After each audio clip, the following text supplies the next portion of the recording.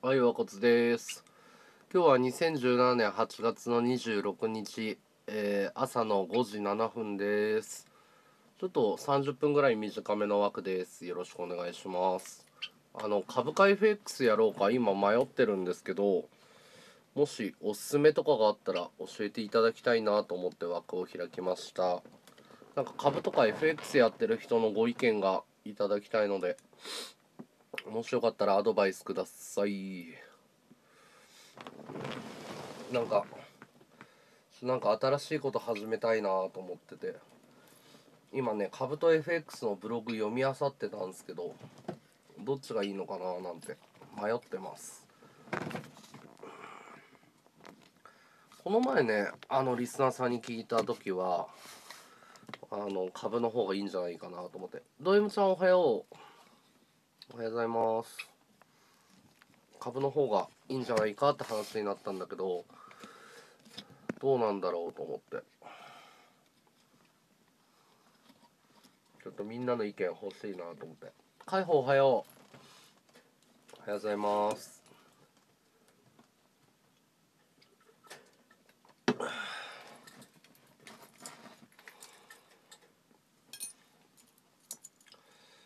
みんな株と FX おは無音監視です。すみませんね。無音監視？何無音監視って？どういうこと？うん。おはようカオス。なんかカオス全然絡んでくんないじゃん最近。寂しいよ。株とか全然わかんないんで思っときます。こけしさんいらっしゃい。うん。じゃあ一緒に勉強しよう。ロムらなくていいよ全然。ロムなロムらなくていいよ。なんかもう退屈退屈だしもうなんか新しいこと始めないとなんかつまんねえなと思って。全然株とか FX 関係ない話でもいいよ。おはようかか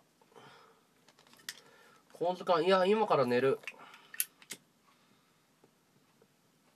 ネットが復旧しないから携帯配信しかできないから。サラさんはどつうんなんかその株とリスク株と FX のリスクとかいろいろ計算したんだけど、まあ、手持ちの金額が少ないっていうのが俺の場合あるから株よりもそのお金が少なくてもできるのは FX かなとか思ったりあと24時間取引ができるっていう部分では FX いいのかなと思って。ただレバレッジがやっぱり怖いっていう部分があったのでそういう点で考えると株とかの方が現物取引っていうんだけどいいのかなと思って。ブロック入れるよ。なんだこいつ。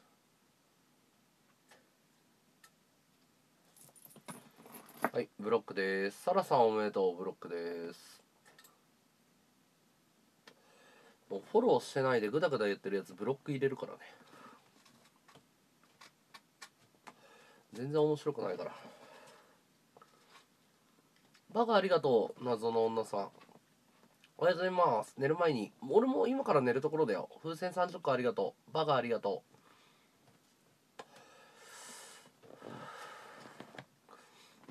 う。なんかキャッシュポイントはいくつか作っといた方がいいのかなっていうのもあったしそろそろね配信以外でもなんか始めようかなと思ってたからせっかくだからやったことないもんやってみたいなっていうのがあるんだよね。でやっぱ将来勉強になるものって考えたらさ肉バーガーありがとう。牛丼食ってきたよ。三原ひろむさんやっぱこの時間帯のリスナーさん質高えな。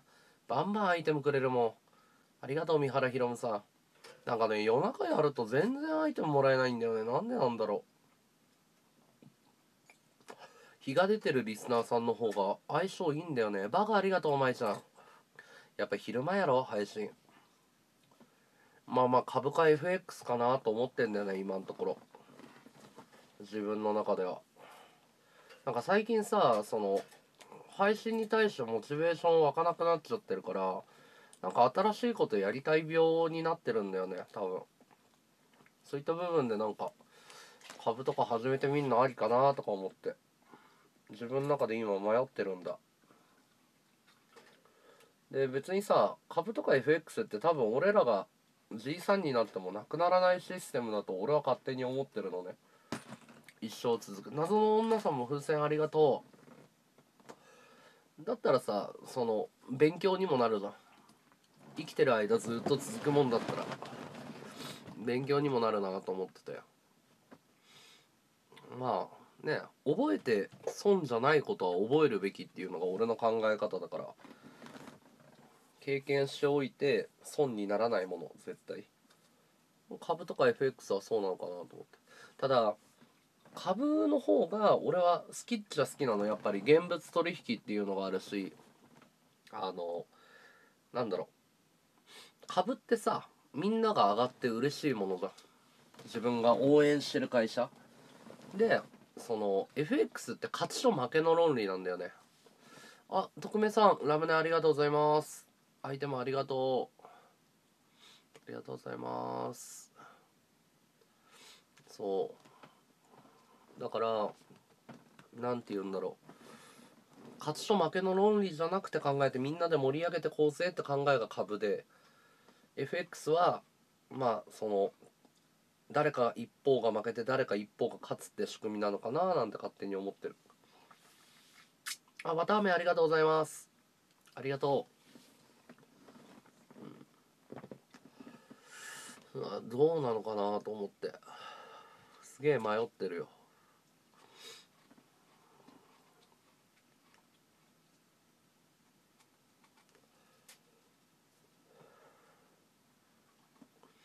かっこいい。俺が？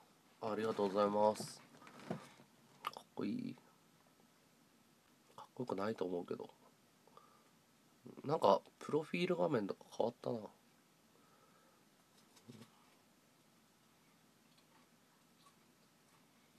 ありがとう。かっこいいって言ってくれて。かっこよくはないけどね。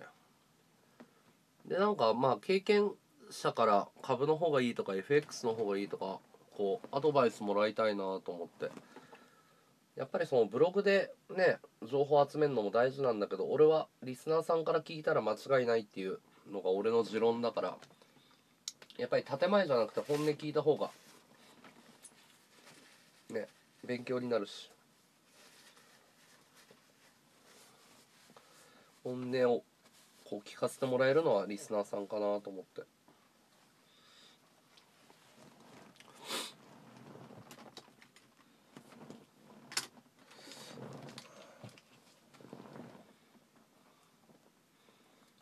アドバイスください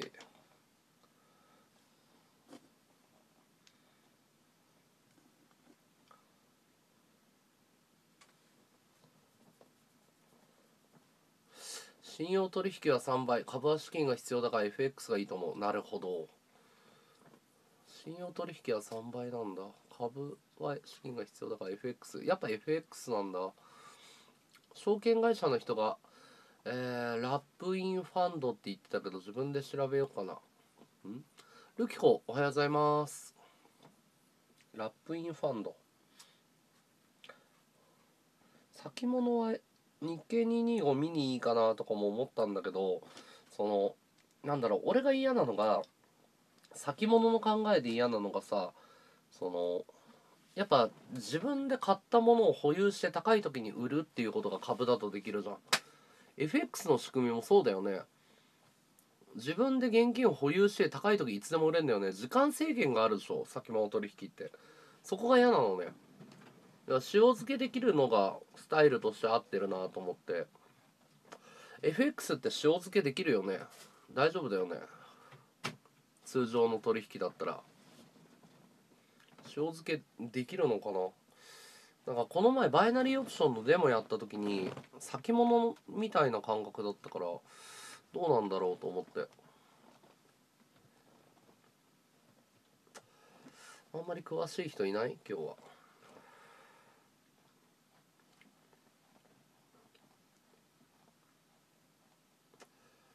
ラップインファンドって言ってた。今携帯使ってるから調べらんねえな。ネットが止まっちゃってんだよね。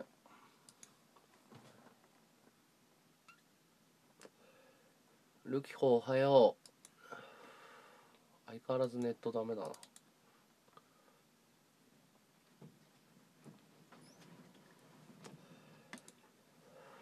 まあ24時間平日の24時間取引ができるんだよね。FX って。土曜日日曜日はやってないのか。でもまあね24時間証券会社が開いてるっていうのは魅力だよな。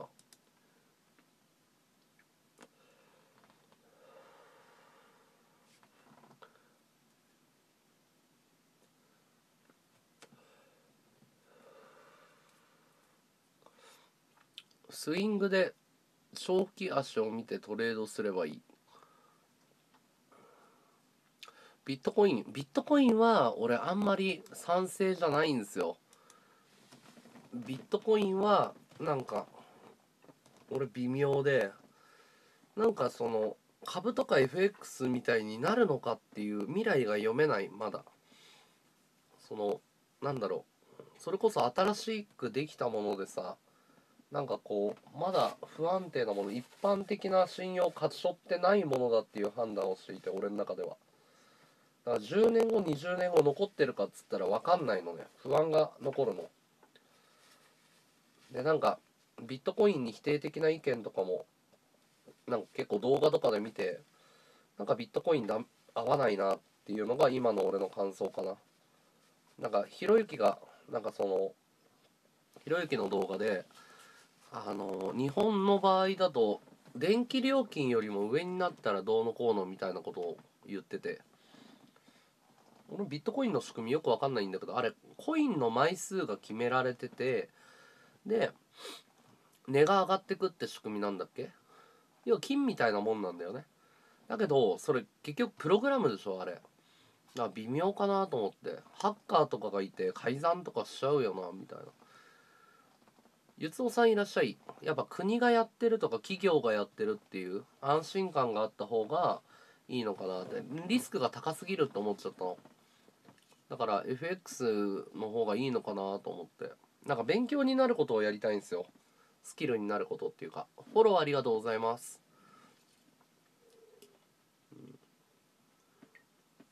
髪型セットしただけだね。セットしてる、うん、変わってないよ。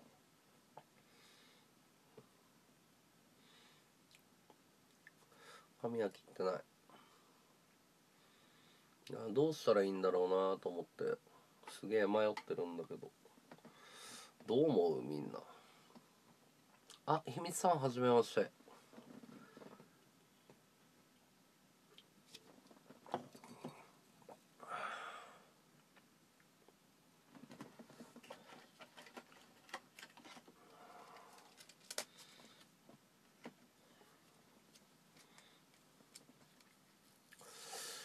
FX なのかな？FX っていくらあったら取引できんの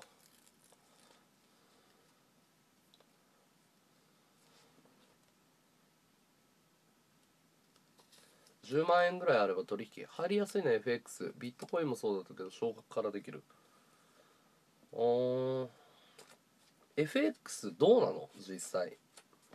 儲かるもんもうまあ儲かる儲からないってもんじゃないよな。それ人によるとしか言えねえよな。要は安く買って高く売ればいいだけでしょ。安く買って高く売る。もしくは逆？逆もできんのか？うん。どういうことなんだろう。仕組みがよくわかんねえな。日本円からドルを買ってでダメなバカすぎてよくわかんねえわ。まあまあとにかく安く売って高くかん？10円上がったら10円得するとかそういう。僕ですか？いやプロフィール欄に年齢書いてありますよ。32です。鏡面だわ。和道さん眉毛大臣あこわももってね。怖いよね。ごめんごめん。眉毛生やすよ。ぶっちゃけ10円からでもトレードできる。FX? そんな安いの？え無理じゃない？FX 10円からトレードできないでしょ。だって今日本円って100円とかじゃないの。100いくらじゃないの。10円からは無理じゃね？一応円とドルのその最あできるのか。そっかそっか。あできるか。1円分買えば10円分買えばいいんだ。ヘッジファンド。ごめん今 FX か株価の話だわ。なんか新しいものはいいや。なんかビットコインとかに若いかな。32っておっさんだと思うけど。うん。俺は別に自分のこと若いと思ってないかな。なかなかいい年だと思ってるよ。むしろもうなんか人生折り返したんだなぐらいに思ってる。若若いくはないっすね、うん、リスナーさんとね相対的に見て若いのかもしれないけど自分の年齢が若い年齢そう何でも夢にあふれて希望にあふれてる年齢だとは俺は思わないかな。人格も固まって頭も固くなってきたし老けてるでしょ同い年なんだ。どうしようかな。20代の時からやるべきだったよな。起業なんかしないで。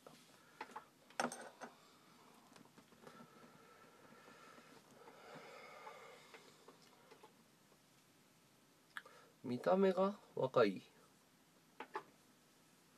デモトレードはやって負けたね。5分で10万円なくしたね。じゃあ5分で100万円とかしたんだ俺。5分か10分で100万円とかしてリスナーが大爆笑したっていう。デモトレード1回やったよ。まるで才能がないっつって大爆笑したんだよ。クソだっつってみんなが。あご隠居さん FX 詳しいんだ。いや俺は自分の枠で聞くよ。自分から聞きに行くとあのオン作ることになるからめんどくさい。うん。いや爆笑取れないでしょ。ちゃんと固くやるよ俺。その時バイナリーオプションやったのかな。バイナリーオプション怖えよマジで。全然うまくいかなかった。大爆笑で一瞬で100万とかしたんだよ。魚影だよ。魚影。本当恐ろしい世界だなと思ったもん。世の中にさものの5分で一瞬で100万溶かすって才能だよね。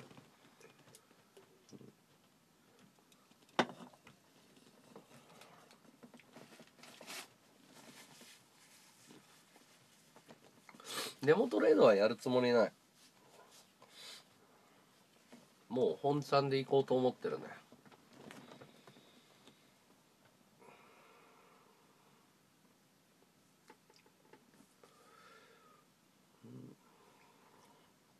うん水浴びつかもお風呂場にずっといる感じかな。1万通貨。必要金5万で。必要金5万で。ドル円レート。1円値幅できると1万円勝つか負けるか。あ伏線ありがとう。1万通貨。必要金5万。あ三原ひろむさんフォローありがとう。えっ、ー、とドル円レート。1円値幅？1万通貨。うん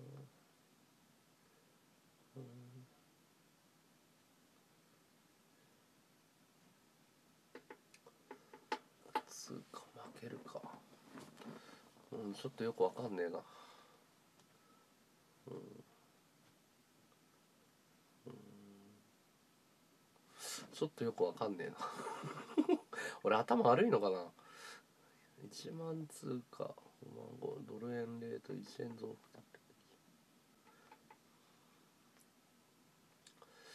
もっとドカンとね、うん、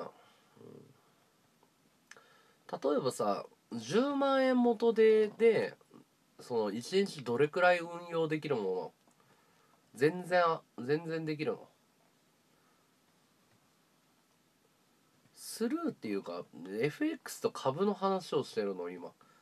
で顔が老けてるとか老けてないとかあなたが個人的に興味あることでしょ。知らねえよ。お前のマスターベーションに付き合う気なんかねえよ。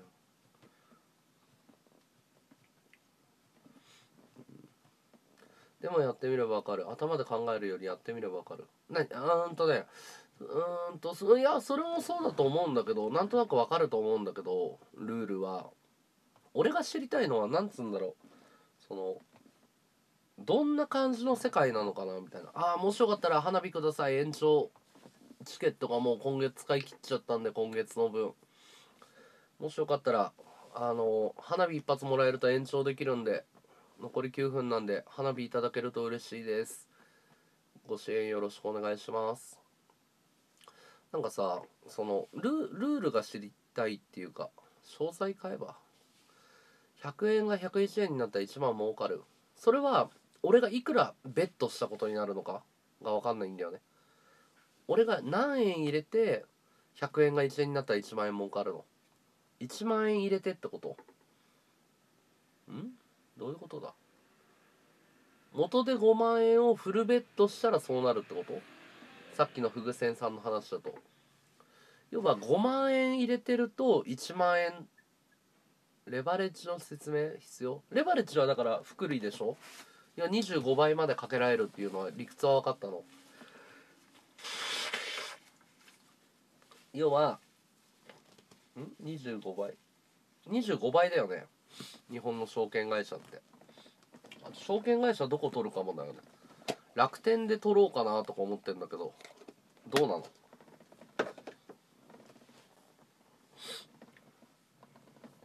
楽天。楽天の FX どうなの？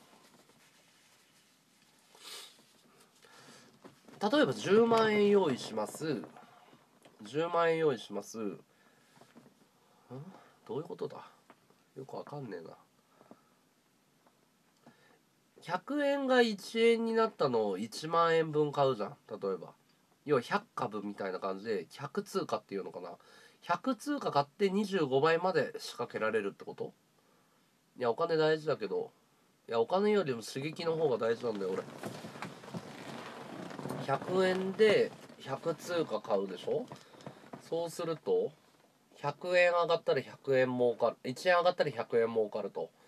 で25倍でレバレッジかけたら2500円儲かる。こんな感じ？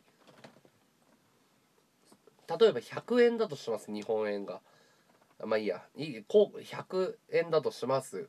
で100通貨を入れる。そうそう。1万円通貨っていうのは1万ドル分のポジションを1万ドル分のポジションを持つわけで、えー、1万ドルの25分の1の金で1万通貨取引できる。あフルレバレッジでってことだよね、えー、そうするとえー、っと20うんあそなるほどなるほど。1万通貨が25 1万円取引であそういう考え方もあるのか。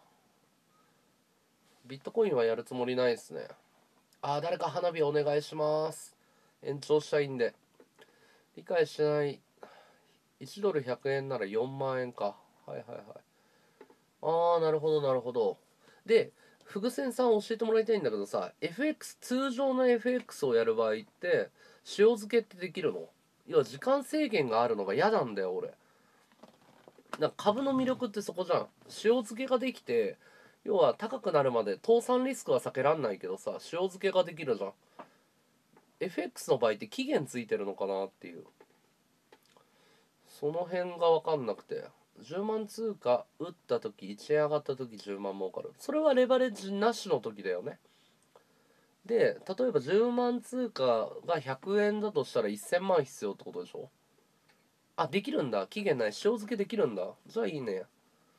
うん秘密さんブロック入れますよ。フォローしてないでグダグダ言ってる人いらないんでうちの枠に。うんフォローもしてない。ブロックです。はいさよなら。おめでとうございます。期限はないのか。そうだよね。通貨を自分で買うわけだから。うーん。えでもさ証拠金を下回ったらダメだよね結局。っていうことだよね。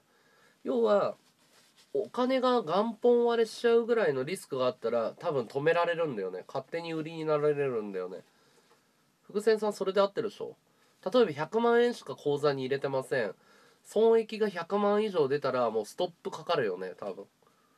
そういう意味だよね。大輔さんお疲れ様です。塩漬けはできるんだけど元本割れがある。残り5分誰か花火ください。延長したいです。えー維持率を下回ると強制ロスカット。あ合ってるか。OK あじゃあ FX でもありだな。うーん。なるほど。1日の値幅ってどれくらいなの？FX って。俺為替全然わかんないんだけどさ。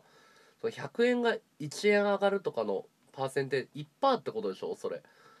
1日の値幅って大体どれくらいあるの？国内だけどマイナスで追償払えって言われる。ああほうほうほう追償払ええ。それはロスカットされた上で追償ってことになるのかな？まあ追償は絶対払わないといけないと思うっていうかそのなんだろうロスカットが起こらないようなレバレッジでやろうとは思うけど。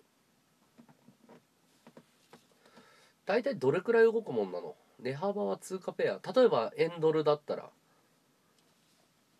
俺も遊びで1万うん1万入れて遊べるかな。ありがとうユン。ありがとうワドツー。30分延長無料になりました。ありがとうございます。いいねこれ。新しい事業ってわけじゃないよ。リーさん。あのもう暇で暇でしょうがなくて、うん、ゼロカットだと通称はない。ゼロカットかわかんねえな。おっとっとっとっとごめんごめんごめん。その時の経済状況によって違うけど今だと60銭。0.6%か。0.6%0.6% の値幅をあー0.6か。うん。なるほど。まあまあまあでもうまくやったら。あーなるほどなるほど。それってさ1日の終わりで0.6%でしょ？値幅を知りたい感じなんだよね。その最高最高の下と最高の上？ん？最高と最低を知りたい。ごめんね日本語めちゃくちゃで。要はそれさ1日平均の値幅じゃん多分0.6って。でもさデイトレードやる場合だとその1日の値幅の中の動きの中でやっていくわけじゃん。どれくらいあるもんなの？それだと3%ぐらいの誤差は出んの？平均その始めと終わりで0.6%出るとして。どういう投資をしたいのよ？例えば正直言うと俺は暇つぶしがしたいって感じだよ正直言うとへ怒らないでね。本音だからこれ。あの新しいこと始めたいっていう感じで。いやデモはもういいやと思って。デモはいくらやってもデモだから。うん。えー、例えば1万円だけならしちゃってもいいなら海外 FX 追奨なしゼロカットで連勝する。なんか海外だと888%のレバレッジかけられるっていうよね。俺は別にそのなんだろう日本国内のルールで全然いいと思ってんだけど。ああいやあの投資になってないっていうか俺やってみたのデモでその廃炉。だからあれギャンブルじゃん。ただの。正直。あれは投資でも何でもないしうんどうなんだろう。ヒゲとか読むのかな。わかんないけど俺がやった感覚ね。これただのギャンブルだわって思ったの。バイナリーオプションに関して言ったら。そう新しいことやるの好きなのよただ単に。だからちょっとバイナリーオプションはなんかやっててなんかスロット打ってる感覚に近かったんだよね。なんか先がねえつうかなんつうんだろう。上がるか下がるかに理屈つけてるだけで結局なんかあれ神様がサイコロ振ってるだけのゲームなんじゃねえかっていう感覚だったの。やってみた印象。スプレッドは DMM がいい。ああありがとう。あそういうのありがたいですね。ちょっと歯磨くわ。よいしょ。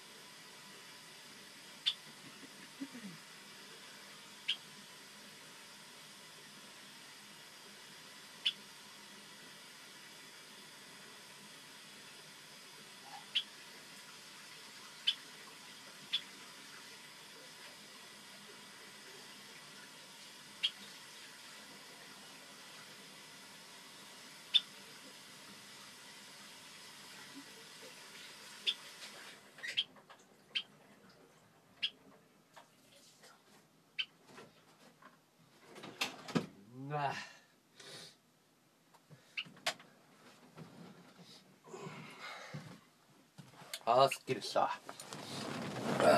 やっぱ歯磨き大事だね。ねずみちゃん風船交換ありがとう。いやえずくんだよ。うん。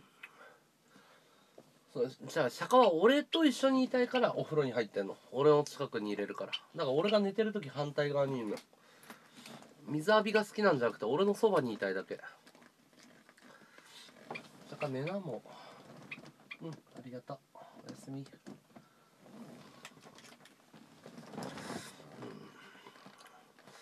FX の方が今現実的か。なんで俺 FX あんまグッとこないんだろう。株の方がシンプルだからなんかな。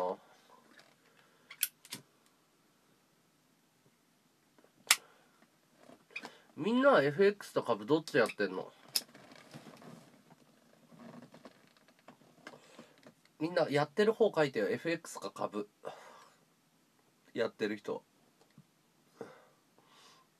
FX か株どっちか書いて。フグセンさん FX なんだ。FX の方が確かに人口多そうな気がするよね。アイテムありがとうゆうちょむ。両方ともやってんだシストレさんは。FX 多いね FX あートレなそうだよな。FX なんだろう。FX た楽しい通貨儲かんの？1万通貨で1里動いて10円動くって考える。1里い10%動く。うん？1万通貨で1なんとかかよくわかんないな。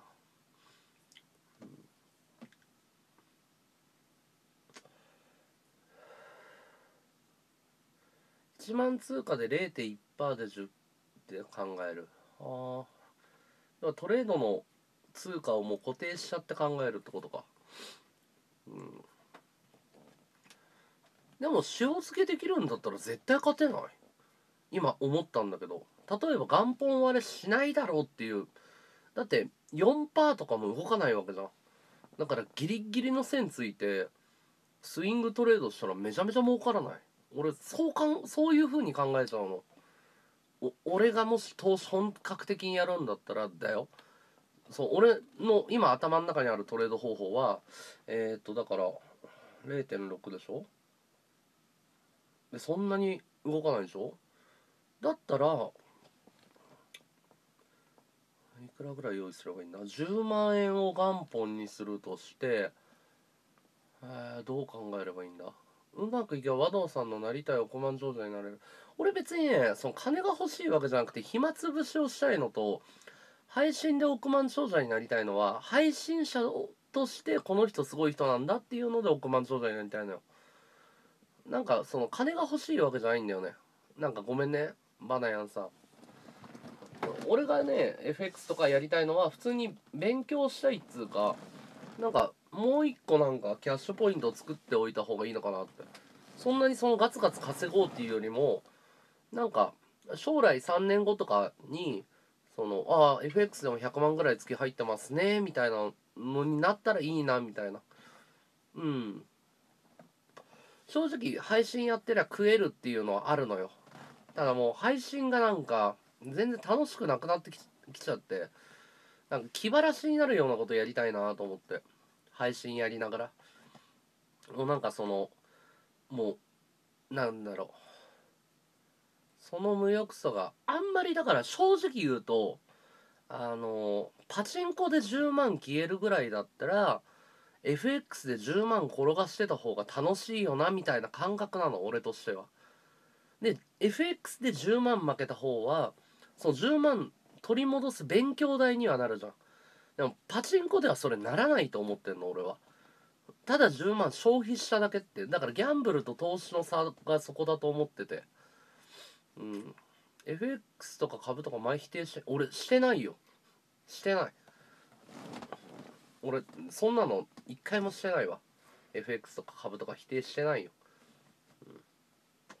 うん、だから単純にあ、まあ、年間100万ぐらい FX あのパチンコとかに使っちゃうぐらいだったら100万 FX で溶かした方が身になるんじゃねえかみたいな。いいチャッパさんいらっしゃい。こんばんは。こんこんにちは。FX8 割も負けんの？なんで？違うでしょそれ。8割の人が負けてるってことでしょ。ひろあきさん多分そうだよね。8割負けがあるっていうゲームじゃないでしょ。確率論的にだって。勝つか負けるか五分五分でしょ。要は8割の人が普通に投資が下手なだけでしょ。っていう意味でしょ。だって理屈上8割負ける計算にならないけど。もし負け額そのまあパチンコでいうとこの機械割りとかで言うんだったら手数料だけじゃん。そうだよね。株でも FX でも勝てるのは1割の人だから相当努力しないと勝つのは難しいよ。片手間でやってる勝てる世界じゃない。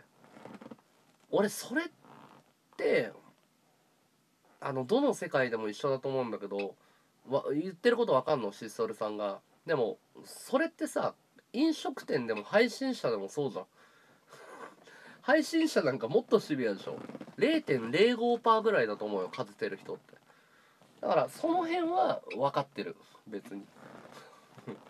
それこそ配信で飯食うなんて確率。多分配信の人口ってさ今50万人はいねえな。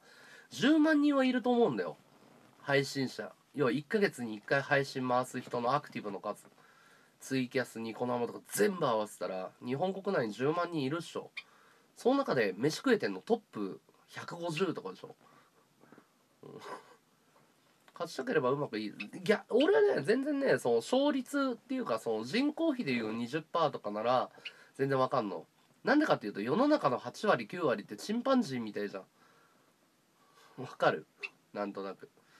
世の中の世の中のさ9割8割の人ってさなんかこう合う合うあーな人だと思ってるから。そこは別にいいんじゃね？みたいな、うん、1割になればいいんでしょうっていう。そこはあんまり気にしてない。他人と比べてやろうと思ってないから。そこはなんつうんだろう。別に負け側に回ってもその全然痛くないっていうか。そうそう人生楽しみたいそう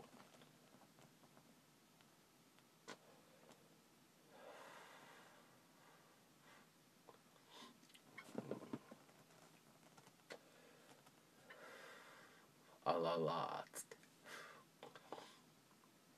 でもさ変な話だけどシストレさんさそれってさ世の中にいる人だからなんつうの？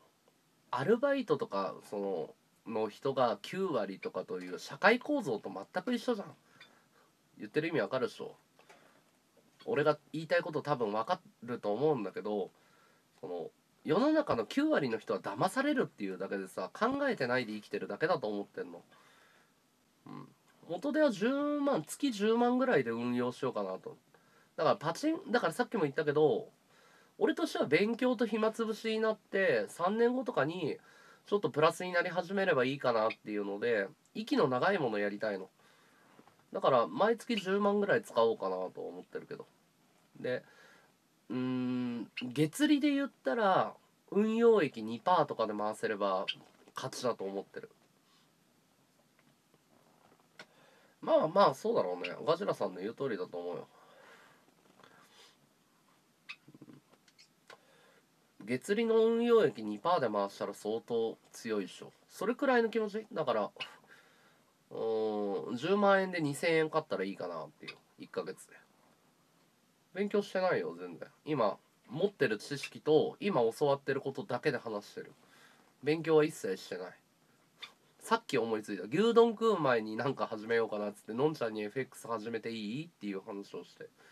のんちゃんは分からないっつったから。じゃあリスナーさんに聞いてみるわっつって、うん、勉強はしてない全く。まあ勉強してないでしょ、うん、月利2%って年利24%これってプロのレベルだよ。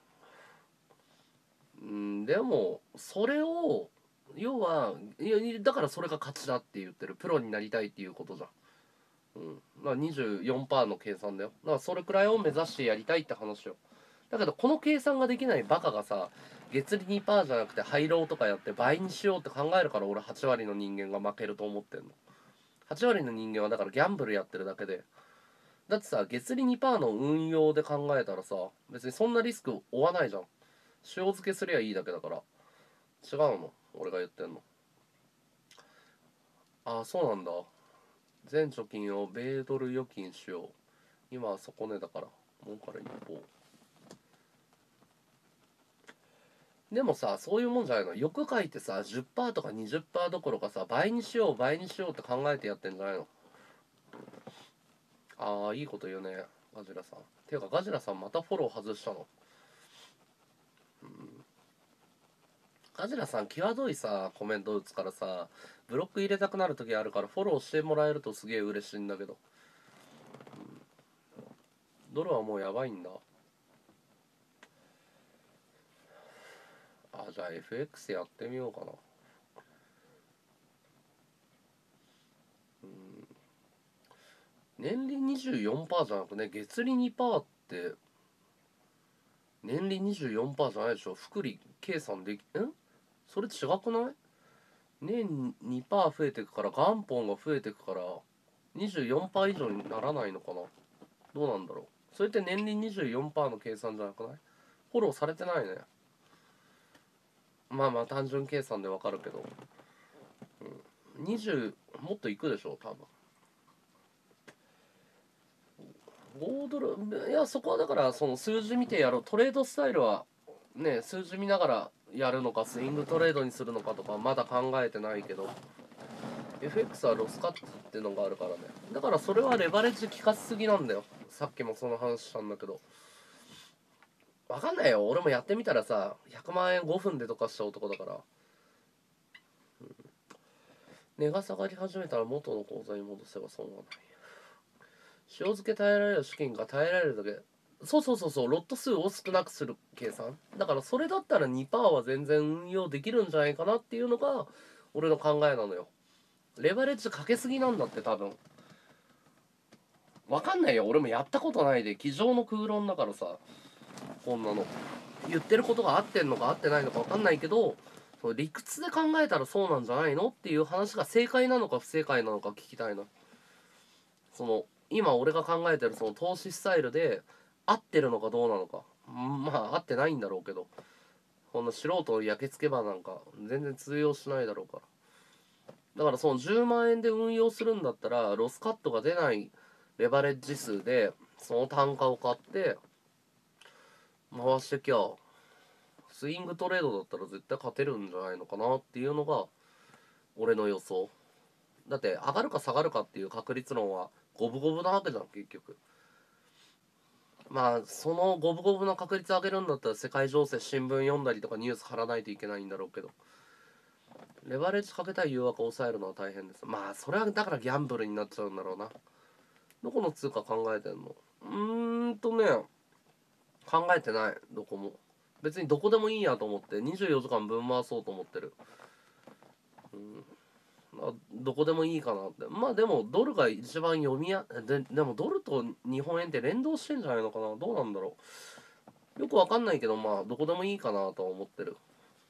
気に入ったところを見つけるのか24時間対応できるためにトレードスタイルで数字を細かく追ってデイトレでやっていくのか、うん、10万じゃレバー聞かないと1ロットも買えない。1ロットっていうのが分かんないんだよな。ロット？なんでん現生で買えるようなも世界じゃないの？だって10万円だったら別に100円で買えないの？要はよく分かんないけど FX の世界がどうなのか。ロットっていう計算が分かんないけど。ふわっちじゃ貼れない？買えないの？さっき買え10円でもできるよって言われたけど。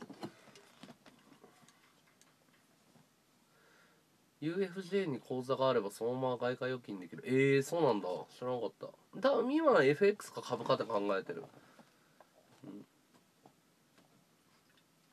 長期足で方向性をつかんだらいいよ。んでその方向にトレードしたら結構いける。うん。文字数うん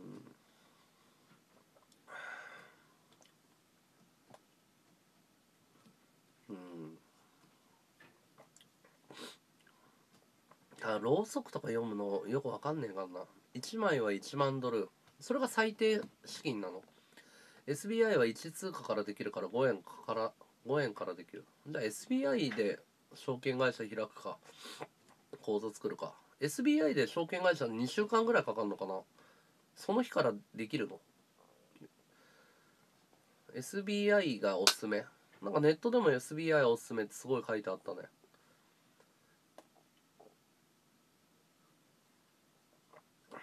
いやあんまりね時間そこには割きたくない。なんでかっていうとあの他人の放送を見たんだけど結局ね勉強にならないんだよね。その人のスタイルだからそうなるとかその人の考えだからそうなるんだっていうのが分かるだけで結局さ自分と向き合う作業じゃん。放送もこういうトレードとかも。だから自分のリスナーさんとタッグ組んでやってた方が楽しいんだよね。負けたとしても。だから他の放送を見る気はないかな。その日から無理。申し込みから1週間ぐらい。あじゃあ SBI 取っとくわ。伏線さん SBI で OK トランプのツイッターが株価と通貨変動させてるから、えー今はちょっと危険かも。それ面白いじゃん。グアムにミサイル飛べばドルが上がる。あ FX ってギャンブル依存症なのかな？どうなんだろう。ただもうパチンコ行くぐらいだったら FX で溶かすわ俺、うん、その方が放送もできるし。店の許可とか取んのクソだりーから。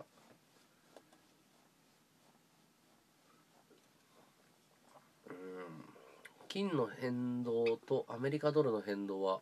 へえあよく言うよね。不景気になると。金の信用が上がるとかね。その辺の関連とか面白いな。でもさ俺思うんだけど金の埋蔵量がプール何倍分とかいう話あるじゃん。あれ絶対嘘だと思うんだけどそう思い込まされてるだけでさだって俺も金持ってるしドン・キホーテとかにも金売ってるでしょ？で新宿中の金券ショップとか売ってて絶対プールの数より多いだろうと思うんだけどどう思う？どう思う？海外だと10万円で100万通貨打てると思うけど10銭下がったら資金飛ぶ。海外はやるつもりないね。うん。日本政府がだってレバー25%にしなさいって規制かけてるぐらいなんだからさ。SBIFX トレードって名前の方。OKOKSBIFX トレードね。OK 何？手数料ってどれくらいかかるの？そんな気にしなくていいもんなの。手数料は。今ならポイントサイト通して10社ぐらい口座開けばほぼノーリスクで10万ぐらいもらえる。流行ったもん。口座開設を要は5万円くれたら10万円儲かる方法教えてやるっていうやつ。情報商材屋さんがよくやってた若い子たち。その FX 口座開設させて。で5万円もらうっていう。それ100人でやったらっていう。金は土から出てくる量金は土から出てくる量は知れてる。みんな溶かしてローテーションしてるだけ。あじゃあ一応やっぱり金の量っていうのは決まってるんだ。じゃあ日本がよっぽど豊かってことだなこんだけ金があるってことは。チャートの見方は4つ目にある。あありがとうございますひろきさん。スプレッドは通貨ペアによって違う。ドル円だと0.3円。1回の手数料で0.3ってこと？うん。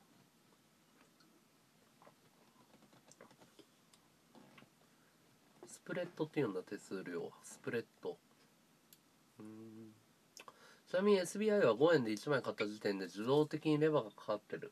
ちなみにフルレバ。ーフルレバーって25%ってこと。情報商材じゃなくてやらない人は損するレベル。ノリスん？やらない人は損する何が？1万通貨だと30円安くね？そんなもんなんだ。あまあまあまあ。1万通貨だと30円だから。あまあ。良心的じゃない？えそんな安いの？1万通貨。安いね。安くない？思ってたより安いわ。あー安いね。うん。山ほど金が出てきても市場が隠すって、えー量が。ああ誰か花火ください。お願いします。延長したいんで。手数料そんな大したことないね。良心的だね。テラセン安いね、うん、山ほど金が出ても市場が隠すって。量が価格を決めるんじゃないグルになってる人間が決めてるんだ。手堅く日経225の FTF FTF って何？花火ありがとうまいちゃん。延長無料になりました。花火ありがとうございます。ありがとうまいちゃん。みんなまいちゃんにパチパチでお願いします。ありがとうまいちゃん。よしこれで30分無料で喋れるうー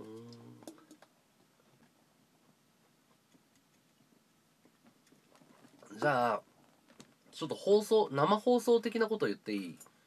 生放送的な話していい？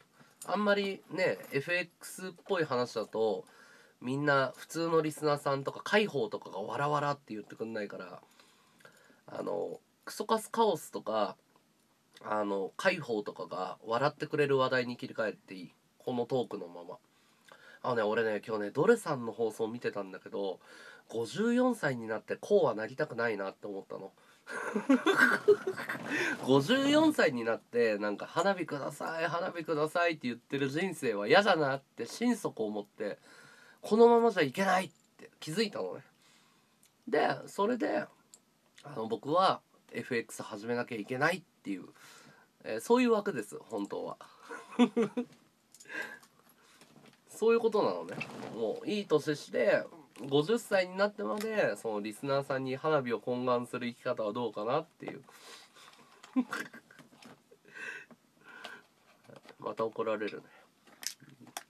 ちょっと自力でも稼げるようにししたいなと思って。だから小倉優子っていうかさ小倉優子思うんだけどさあのアイドルであんだけ可愛いのにさやってることが趣味がさゴルフでしょ？投資でしょ？でなんかなんか居酒屋とかで飲んでさもうやってることおっさんだよね小倉優子ね。あれ面白かったね。うん。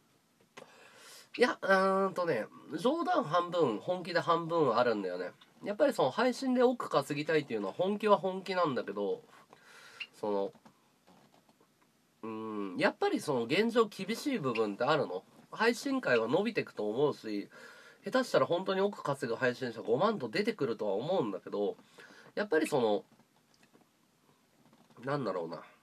それはそれで奥目指すっていうのも手なんだけど将来に対してやっぱり不安を取り除いていって人生を勝つ確率を上げたいなと思って。でそのパチンコでどうのこうのとかやってるぐらいだったら絶対 FX やってた方がいいし負けたとしても勉強になるし話題になるなと思って。パチンコで負けてもパチンコで負けた話しか出ねえかんな。放送的な話で言えばミュウツー馬神様ってやつに言いたいこと言わせてるのを無視してんの。いや電話してよこの前。全然多分その矢頭大さんが俺の放送を見てないだけだね YouTube にバンバン載ってるよ動画。直接話してるよ。和道さん数字強いから向いてるよ。本当に向いてるかな？あじゃあ向いてるかアンケート取ってみようか。アンケートできんのかな？アンケート。クイックアンケート。うん。えークイックアンケート。FX 向いてると思う人ははい。向いてない人はいいえ。向いてる人ははい。向いてない人はいいえ書いてください。アンケートボタンを押してください。向いてる和道は FX 向いてる人ははい。向いてない人はいいえ。お願いします。今アンケート機能使ってるんでアンケートボタンを押してください。クリックして回答してください。向いてると思う人ははい。向いてないと思う人はいいえ。別に個人的な直感でいいですよ。FX 知らないからとかじゃなくて向いてそう向いてなさそうって感じで。うん。矢頭さんがもし負け言いまかしてやったとか言わせてるのが本心かどうか気になったかどうかっていうのは多分向こうのリスナーだからなの。こっちの放送で見たら爆笑なのみんな。あのこっちの放送で見た方がおすすめだよ。今度見てみると面白いよ。皆さん回答してください。アンケート。もうすぐ締め切ります。えー、和道 FX が向いてると思う人ははい。向いてないと思う人はいいえでお願いします。じゃあ終了します。40人の回答でした。40名ありがとうございます。回答出します。終了はいあー35%が向いてる。30えー、65%が向いてない。ほうほうほう。意外と多かったな向いてるが。うん、うん、三男坊うぜえな。フォローしてるかどうか見よう。あ俺のことフォローしてないね。ブロック入れるよ三男坊。俺のことフォローしてなくてグダグダ言ってるのはもうブロック入れることにしたから。付き合いするんだったらフォローしてよ。付き合いしないんだったらブロックするわ。決めて今。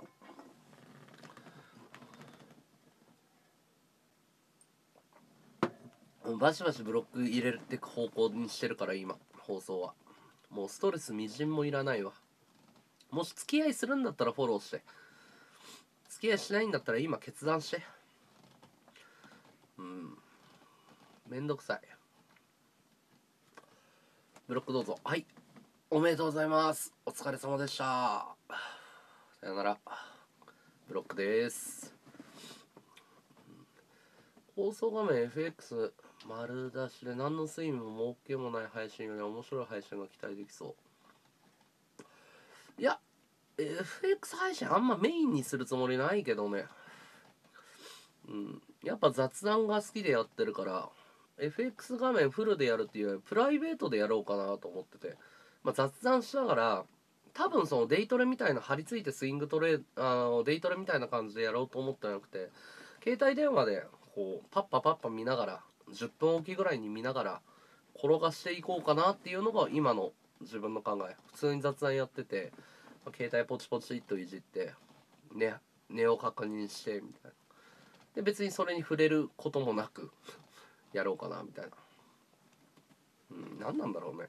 まあなんかかまかまってほしいんでしょそうそうそう低レバで長期目線でやるってことを簡単に言うと。で月利2%を目指すって感じ。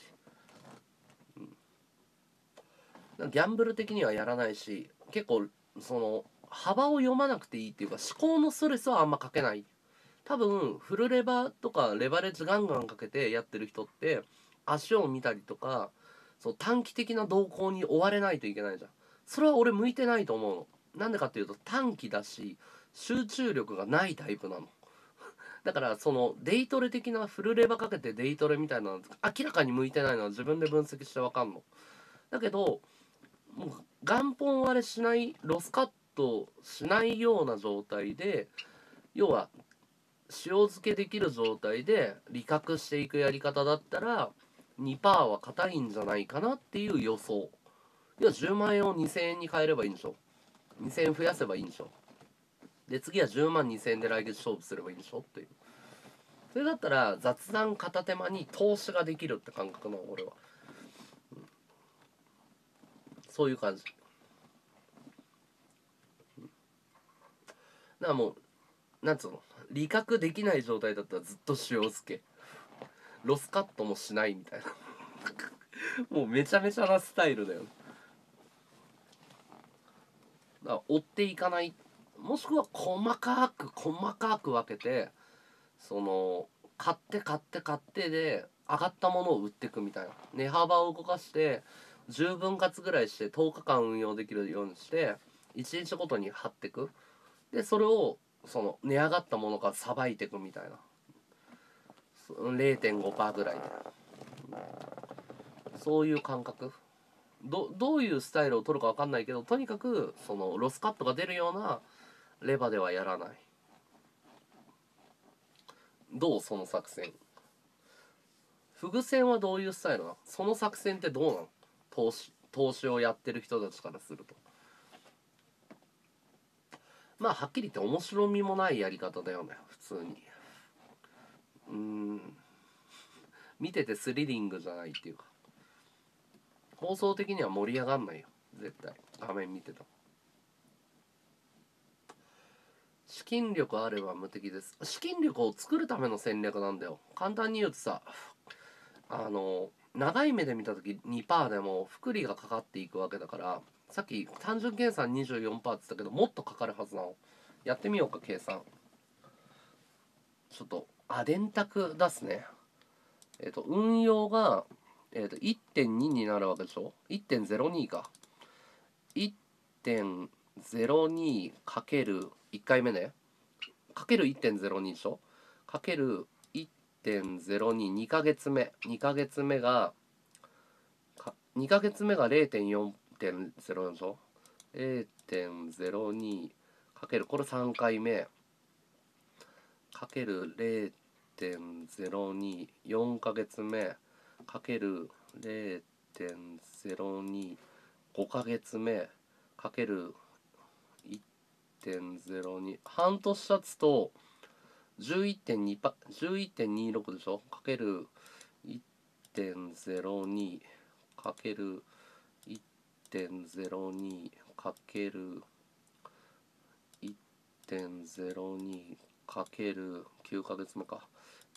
1.0210ヶ月目かける1.0211ヶ月目かける1.02は26.8だから27%ぐらいになるんだよ26.8だからやっぱり24%よりも利率が高いわけじゃん。うん、でこれを多分10年運用したらどうなるのかっていうこれができて。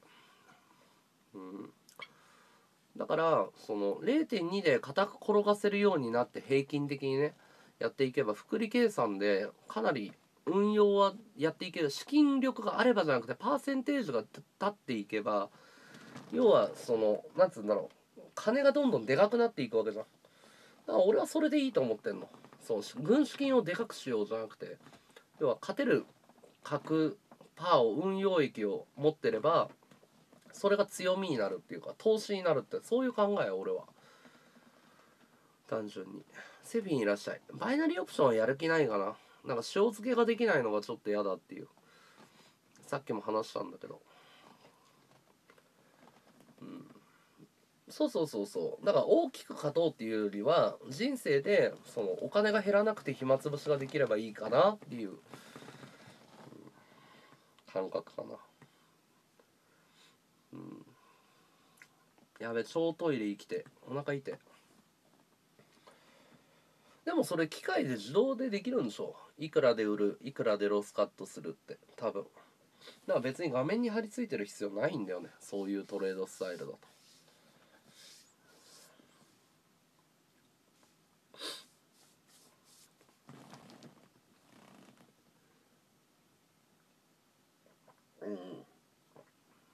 まあ普通になんか雑談しながら余った金分回すでいいんじゃない？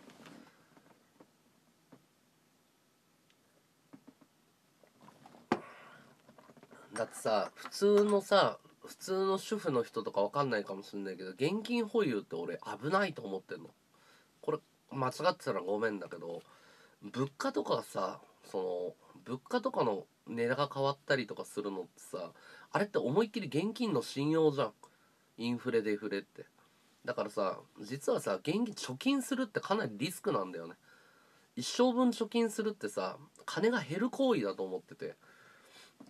そのなんでかっていうとさお金ってさどんどんどんどん価値って円のゼロの桁って増えてるじゃん。1円の価値が変わってるわけじゃん。100円の価値とかが。その辺って分かんないじゃん。主婦の人とか。だから結局頭がいいやつが勝つように世の中できてんだなっていう。将来のインフレリスクまで見てんのか。それはだって歴史で教わることじゃん。だって昔100円だと何が買えたとかさ学校で普通に教えてもらってんのに。要はそれを気づける人間と気づけない人間を選別してるのがこの世の中でしょ。だから頭のいいやつが勝つようにできてるわけじゃん。そう。で普遍的に価値は下がり続けてるわけじゃん。だから俺は貯金はリスクだと思ってるのはそこなの。だただ別にこの考え方が幸せになれるかどうかはまた別問題よ、うん、金掴んだら幸せになるなんて俺はみじんも思ってないから。上そうそう上が儲かる超頭のいいシステムだと思っててそれだけは普遍的なんだよ。その頭のいいやつが儲かるっていう資本主義のもう人類が生まれたからずっとそうじゃん。その貨幣っていうものができてきたりとか。だからその別にその金が欲しいとかじゃなくてこの仕組みに乗っからない気づいてるんだったら乗っからない手はないよなっていう。そういう感じ。で今まではそのうんちくを垂れてたわけだ。金がないから。でもまあお金に余裕が出てきたからまあ自分で回すのもありだよなみたいな。その理屈が分かってるっていう答え合わせをしようみたいなさ。自分で。そういうゲーム。俺の頭そのね8割の負ける人側の思考なのか2割の勝てる側の思考なのか実験しようみたいな、うん、初見さんいらっしゃいザーニーさん。でまあその配信ゲームでは勝てたわけでしょ？結局。結果が出たわけだから。結果勝ったのは勝ったんだよ。大勝ちしたかどうかは別問題として上位のその勝ち組の方に入れたわけじゃん。配信では。じゃあ今度マネーゲームでやってみようかなみたいな。ましてや大幅金融えー金融緩和の中の日本の円は世界的に価値が下がる可能性がありますね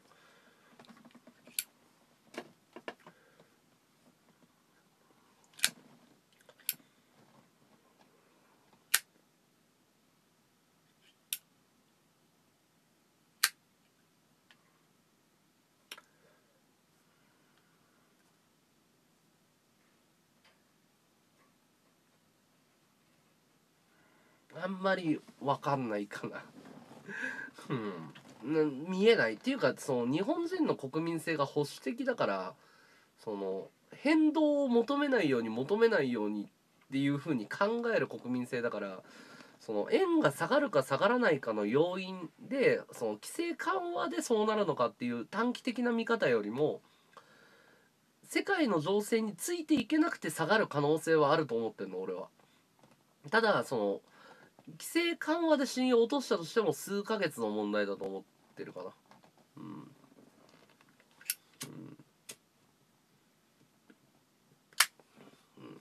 結局その日本人全体がその変化を求めるよりもその文化を守ったりとか価値を守ったりするのが好きな国民性だからさ。ファンダメンタルっていうのがちょっと分かんないな。トミーさんいらっしゃい。え、なになに何言ってんの、井口さん。上が儲かるシステム。効率を求めるとリスクの高い取引をする。メンタル崩壊さらに入金はハイレバでパンクってパターンがほとんどだけど、自己分析できてるのはいいや。いや、っていうよりも、多分すごいドライに見てるんだと思うよ。客観的に見てて。多分、やり始めたらどうなるのかわかんないけど、その、ギャンブルに慣れすぎてるんだよ。多分。普通の8割の負ける人ってあの例えばさ年利じゃあ2%で運用します。貯金100万で使いますって言っても2万円しか儲かんないの。で2万円じゃ快楽は買えないんだよ。いや風俗行ったり。で風俗に使っちゃったとしよう。ステーキとか食っちゃったとしよう。でもそれってさ2%で運用できたのに成功したとしても結局ゼロになるから福利が効かないわけでしょ。要は川残用ができないわけじゃんさっきの。だから俺はそうじゃなくてその数字増やすただのゲームだと思ってるからただ数字を増やすのに一番効率的のいい方法って8割の人がやらない方法をやればいいだけなの。それってつまらないことだと思ってるの。でつまらないことって何なのかって言ったらレバレッジかけないでさっきの運用をすることだと思ってるの。多分ハイレバの方が楽しいんだよ。なんでかって言ったら100万円が200万円に変わるから。で200万円に変わったら買えるものが多いんだよ。だから簡単に言うと心で負けてるもんだけだと思ってんの俺は。要はこれがやったらベルルッティの財布買えるって考えちゃうからレバレッジを加速させると思ってんだよ。女が買えるとか。1000万円あったら何が買えるっていう発想をしちゃってるんだと思う。ただ数字を増やしていくゲームって考えるとそんな難しくないと思ってる。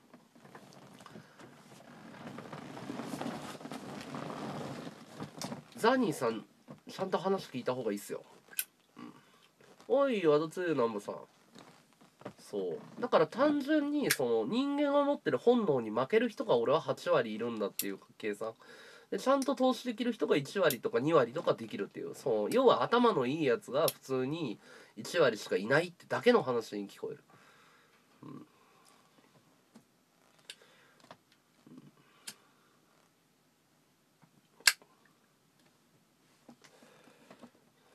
分かんないよ。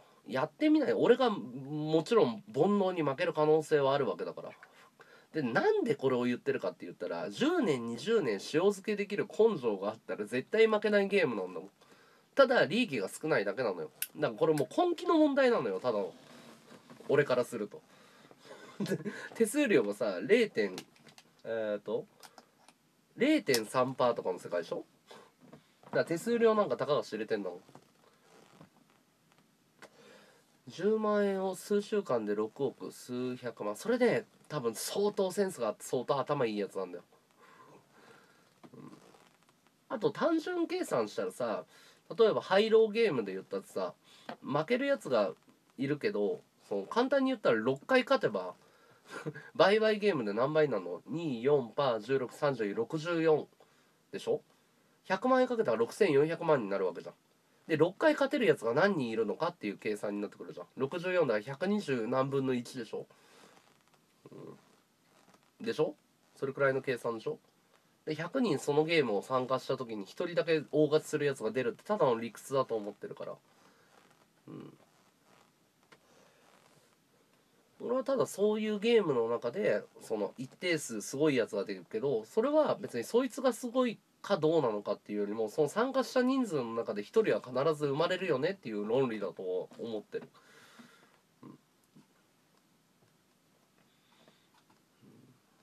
ああ海外通貨の癖か。そういうのも勉強していかないとね。でもそういうのを覚えていったらなんかトランプの傾向とか、ね、政治とかも強くなりそうだよねなんか。なんか雑談にも磨きがかかりそうな気がするんだけど。なんかそのにわかで語るっていうよりもそのなんつうの？強制的にさその日本の政府とかに詳しくなりそうな気がするんだよね。ああそうなんだ。仮想通貨。へえ仮想通貨は俺は伸びないと思ってるかな。ペさんはどつピップスで考えれば証拠金次第ですぐ増える。ピップスが分かんねえな。まあその辺も勉強していかないといけないんだろうけど。でもさ株って面白いじゃん。株って本来はさその利ザヤを取るんじゃなくてさその株主のね決算のさその配当とかで運用するけど配当みたいな考え方ってあるの？FX には。ないよね。利ザヤだけで稼ぐってことでしょ？合ってる？その配当金みたいなのあんの？株の。ないよ本来の趣旨はさ100万円投資して100万円のうち何パー返ってきますよっていう考え方じゃん。うん。へえあそうなんだ。いや西野からも聞いたけどすごいらしいよ。なんか石野はね目の前で見てたらしいんだけどカチカチカチカチカチカチって1時間ぐらい触ってるんだって放送してない時とかに。あでもう今日の分稼いだわっつって1時間で100万円とか稼いでじゃあ飯食い行こうとかそういう生活らしいよ。わかんすげえなっつって。で石野はそれ見てて「なんで教わんなかったの?」って聞いたら「いや俺は無理だ」って言ってた石野は、うん、FX の方が楽しいんだ。えマイナンバー必要なの？俺マイナンバー持ってないんだけど。え、スワップポイントがある。えー、高金利通貨を買うトレードをすれば毎日利息がつく。へえ高金利通貨っていうのが分かんないけどな買うトレード。えでもそれって手数料が高いとかそういう話じゃないの？要は金融的なあれなんじゃないの？海外あマイナンバーないと国内できないんだ。えそれは何？マイナンバーカードを写しが必要なの？住民票に書いてあるから数字を書くだけだったら別に必要ないんだけど。その住民票にマイナンバーの番号を記載してくださいって言えばいいだけだから。番号書くだけだよね多分。証拠写しとか必要なのかな。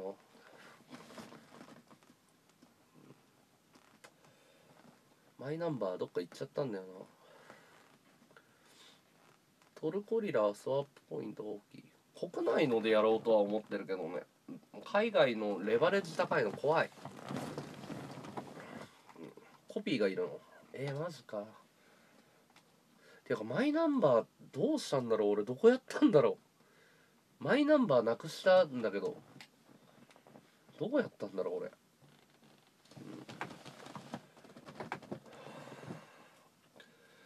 じゃあありがとう。すげえ勉強になったわ。もし面白そうだからこいつ追っかけようかなと思った人はフォローしてください。すいません。あの普通のリスナーさん。なんか楽しめなかったかもしれないんですけど。200名近くの人に見てもらえて嬉しいです。それじゃあおやすみなさい。ありがとうございます。お疲れ様です。まずはドル円でやろうと思ってる普通に。みんなお疲れおやすみ。ありがとうねたくさんアドバイスくれて。楽しかったです。久々なんか頭を使った気がする。楽しかった人はフォローしてください。いや海外講座はね作る気ない。お疲れ。お疲れ様。みんなおつです。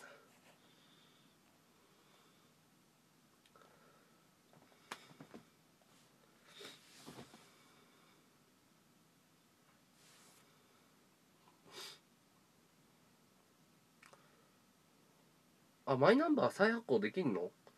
でもね再発行するのにねなんとか局に電話をして一回止めて再発行手続きをして再発行してくださいって言われた、まあ、とにかく FX やろうと思います。お疲れ様です。花火くれた人ありがとね。マイナンバー通知カードをなくしたの。マイナンバーを多分発行してないの俺。マイナンバー通知カードを紛失してんの。ていうかもしかしたらね届いた瞬間に破って捨てたんだよね。いらねえよっつって。お疲れ。